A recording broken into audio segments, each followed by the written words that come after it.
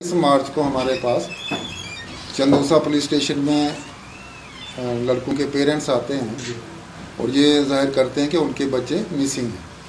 और उनकी उम्र जो है माइनर है वो पंद्रह सोलह साल के हैं और स्टूडेंट्स हैं छोटे छोटे बच्चे हैं। तो एफआईआर जब हमने रजिस्टर कर दी तो उसमें लॉ ये भी कहता है कि छोटे बच्चे हैं तो हो सकता है किसी ने किडनैप किया हो मतलब पुलिस।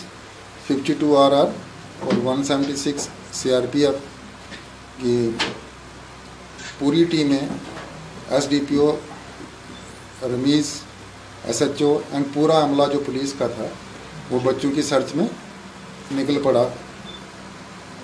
और इनके जितने ठिकाने थे जहाँ पे हमें शक था कि वहाँ जा सकते हैं या इनके क्लोज जो फ्रेंड्स थे, उन सर्कल, उन लोगों को, या एरिया के जो वो शैतान लोग थे, जो ये काम कर सकते थे, सभी लोगों को राउंड अप किया और एरिया की सर्च करने ले सर्च चलती रही।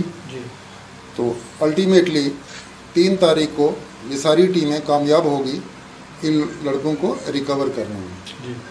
और इनको रिकवर करके थाने में लाया गया और इनसे पूछताछ की गई कि आप कहाँ थे कौन लेके गया था।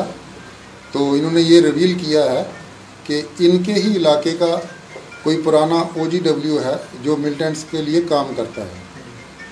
तो उस बंदे ने इनको मोटिवेट किया था मिलिटेंट रैंक ज्वाइन करने के लिए। तो वो कार्रवाई अभी इन्वेस्टिगेशन में है। अभी इन्वेस्टिगेशन उसमें चल रही है।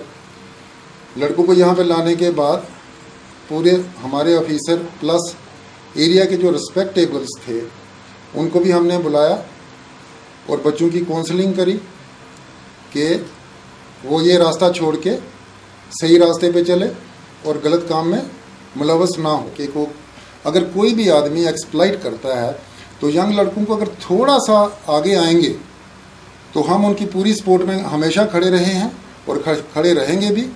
इनको अच्छे रास्ते पर लाने के लिए कुछ भी हमें अगर करना पड़ेगा, पुलिस डिपार्टमेंट को